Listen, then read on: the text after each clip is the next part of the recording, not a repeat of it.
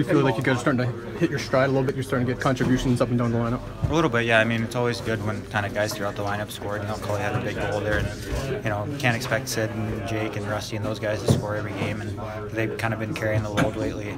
So yeah, I mean, I think as a team, everyone kind of feels good about themselves, about each other, when when you get kind of contributions from the whole lineup. So um, yeah, that was big for us.